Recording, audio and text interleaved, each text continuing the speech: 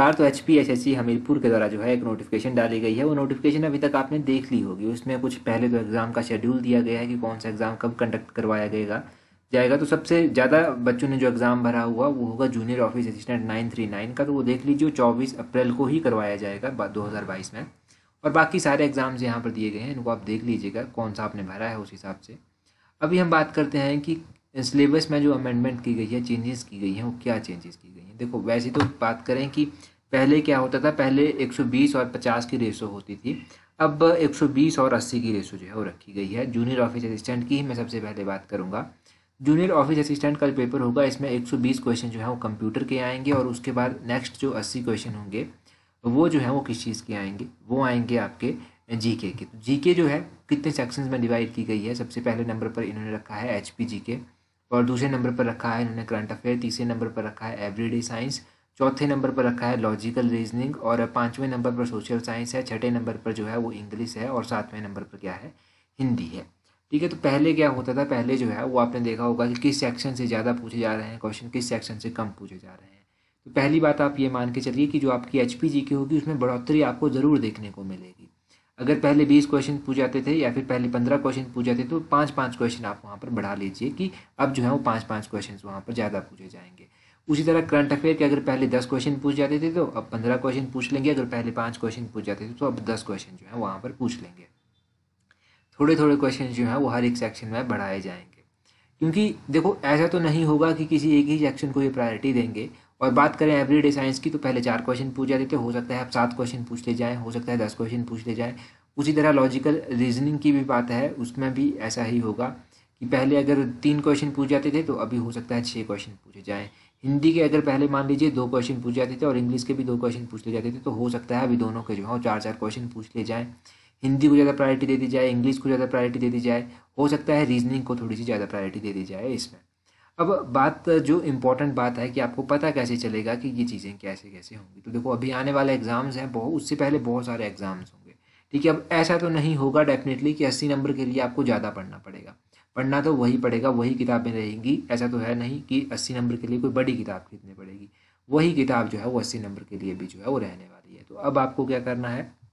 आपने जो है वो जो चीज़ें पढ़ रखी हैं, बस उन चीज़ों को जो है वो अच्छे से रिवाइज करना है और फोकस जो है हर एक सेक्शन के ऊपर अब आप करना होगा। ठीक है, पहले क्योंकि बच्चे ऐसे करते थे कि हिंदी को भी छोड़ देते थे ज़्यादा पढ़ने से और इंग्लिश और रीजनिंग इन तीनों को जो था वो थोड़ा लाइटली लेते थे।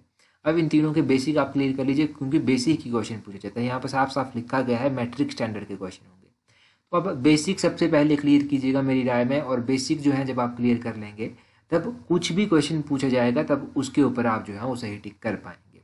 और अगर हम बात करें एच पी जी के की, कैसे की, कैसे कवर होगी, देखो एच पी जी के जो जैसे आप पहले पढ़ रहे थे ना, वैसे ही पढ़िए एच पी जी के। एच पी जी के में कुछ ज़्यादा पढ़ने की अब ज़रूरत नहीं है आपको।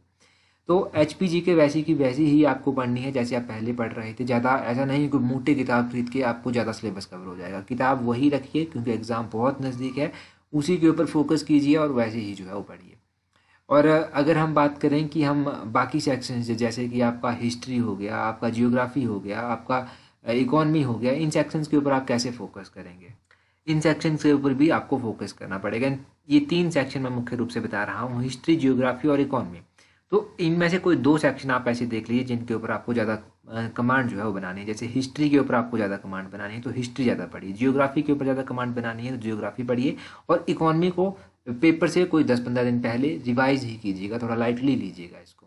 क्योंकि ऐसा तो नहीं होगा कि आप हर एक सेक्शन के ऊपर जो है ज़्यादा फोकस कर पाएँगे। अस्सी से अस्सी क्वेश्चन है ना यहाँ पर तो अस्सी क्वेश्चन में से आपको कम से कम भी सत्तर के करीब जो है वो क्वेश्चन ठीक करने पड़ेंगे। अगर पेपर बहुत आसान है तो सत्तर से सत्तर प्लस ठीक करने पड़ेंगे और पेपर अगर आपका थोड़ा सा हार्ड है तो आप मान के चलिए साठ और सत्तर के बीच में जो है वो ठीक करने पड़ेंगे।